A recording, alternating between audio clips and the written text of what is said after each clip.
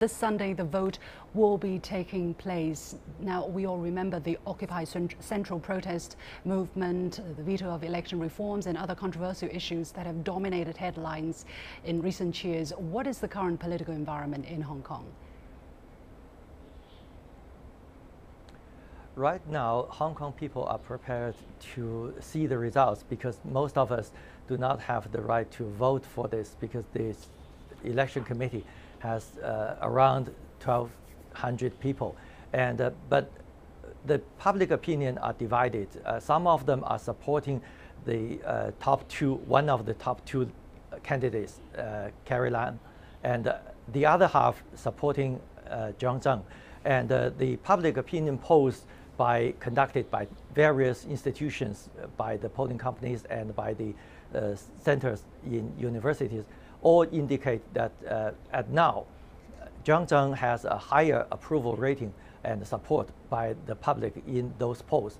But the uh, differences and uh, uh between him and uh, Carrie Lam is narrowing. And uh, we see the advertisement and we see the posters around the subway stations around Hong Kong.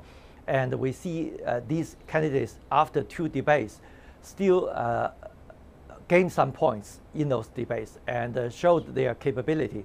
However, uh, no knockout yet.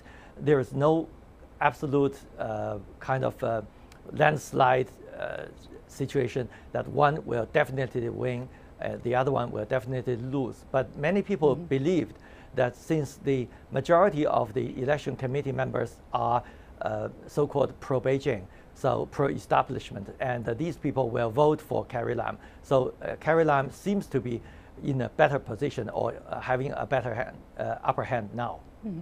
I think it is important for us to take a, a, closer look at the election process and the system of Hong Kong. Uh, Professor Tian, according to Hong Kong's basic law, which is its uh, constitution, its chief executive is chosen by election committee of uh, 1,200 representatives, as we just said.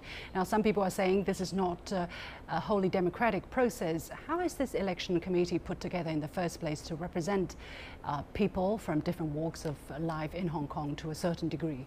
Uh, okay, a little correction. Uh, uh, uh, Hong Kong's uh, constitutional basis is not just the basic law, but also uh, including the Chinese constitution. and this is a good question. Uh,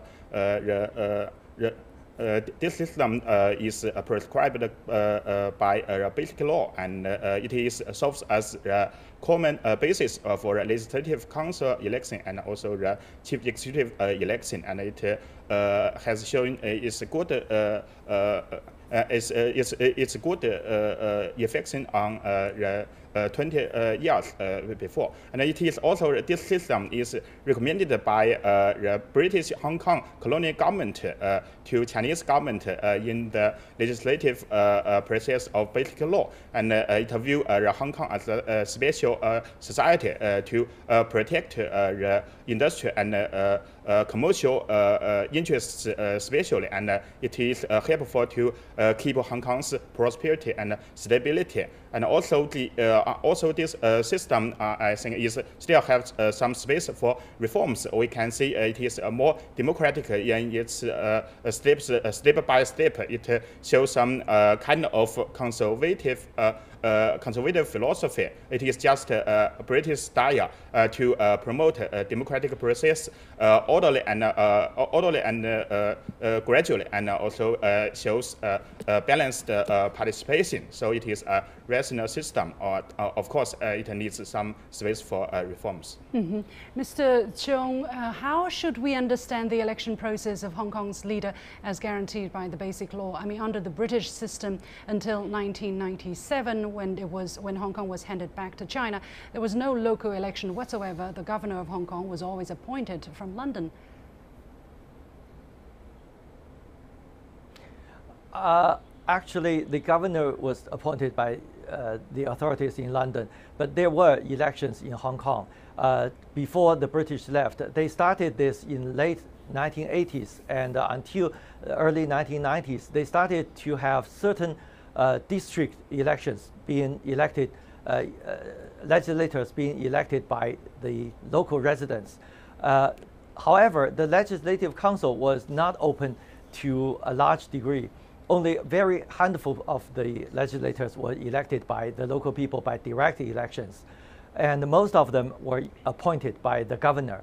And after 1997, the basic law prescribed the new method, and that is uh, the elections will be divided into, uh, the legislators will be divided into two groups. One is called the functional constituencies. That is, uh, each elector is elected by a group of people who represent a certain sector of the society. Mm -hmm. For instance, finance, real estate, uh, industry, exports, and uh, all these education and so on.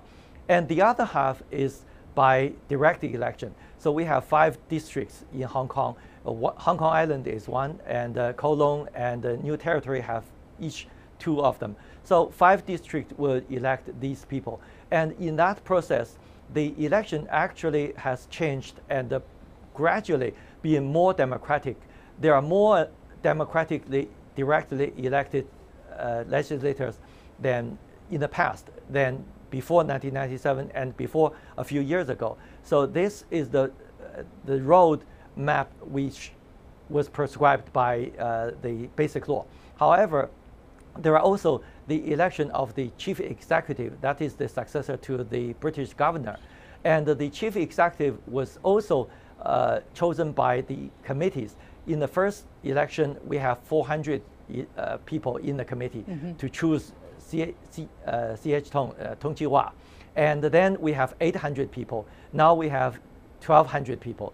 But the basic law also said that eventually Hong Kong will gradually moving to direct election. Mm -hmm. So we were on the road. And in, 19, uh, in 2014, we had the chance of uh, making this change. And if the proposal by the SAR government, the Special Administrative Region government in Hong Kong, proposed that if that was approved, then this year we would have the direct election. Unfortunately, uh, that proposal died in the Legislative Council, so we did not have that chance to vote for the chief executive in the year 2017. Mm -hmm. Professor Tian, exactly following on that note, on August 31st, 2014, the Central Authority in Beijing decided uh, that by 2017 there could be universal suffrage in Hong Kong's chief executive election. But because of various reasons, we are not seeing a universal suffrage now. Is the decision still binding? What is the future development of Hong Kong's democracy in terms of uh, the selection, the election of the chief executive? Uh, okay. Uh, uh sometimes uh, uh, in, in, some sense, uh, uh, it failed uh, in the later political reforms about universal suffrage for chief executive. but we think the August 24th decision by central authority is still binding in law and uh, it also serves as a legal basis for the future rebuilding of Hong Kong uh, political reforms. Uh, and uh, uh, uh, uh, the Legislative Council is just vetoed the, the proposal by the government of Hong Kong. And we can see the uh, Uh, central authorities' uh, decision uh, has absorbed some uh, uh, reasonable elements of the older system. in its nominating committee, it is also elected based upon the functional, functional uh, Uh, constituency and uh, the functional, constituency uh, has a different uh, representation doctrine from the individual based one person or one vote. And we think the future of Hong Kong's constitution based upon basic law will, will be a mixed regime and uh, uh, part of uh, part of the system will be Uh, functional or social based, and uh, part of this system will be individual based, and uh, it is maybe more reasonable than just a single one person one vote because that system it, will be radical. it may do harm to Hong Kong's rule of law, Hong Kong's social prosperity and stability. Also, the central government want to Hong Kong to do a more positive role in national development and also its new economy. And uh, uh, the central uh, government also open a greater strategy like One Belt One Road and also uh, Canton, uh, uh, Canton, Hong Kong, and Macau Greater Bay uh, plan uh, to Hong Kong uh, for uh, future development. We think uh, maybe uh, after uh, this uh, CE election, Hong Kong will uh, face new opportunities uh, to its political development, economic development, uh, development and also new uh, opportunity for its uh, basic law reforms. I think uh, Hong Kong and uh, Beijing will do a common responsibility for the new stage of one country, two systems. We can look forward for it.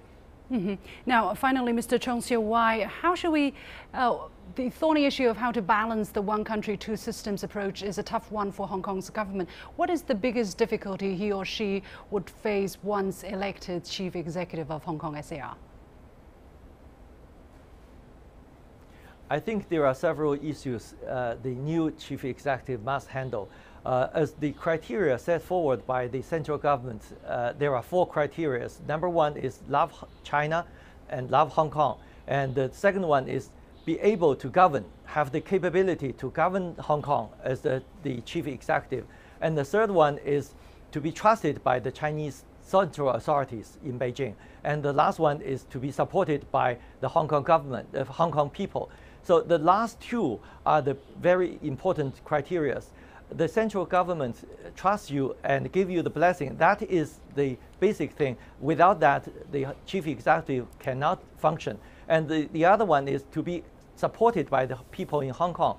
There are several issues. The first one probably could be the economy.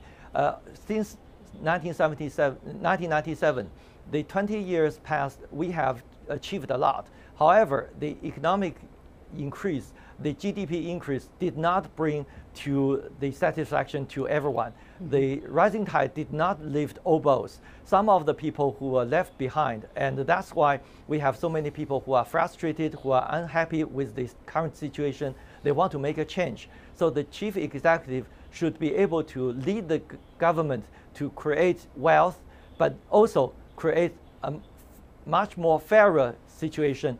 The society should be fair to the people who are less fortunate, to the people who are left behind because of the changes in technology, in the economic sense, and other things. So this is probably the one of the major issues. The other one is try to make the people feel that they belong together. In the last several years, there are different opinions and different political opinions. So some friends become uh, unfriendly to each other because of their differences in political opinions. So Yeah. the leader should be very, very strong to Yeah. get everyone into this whole harmonious society.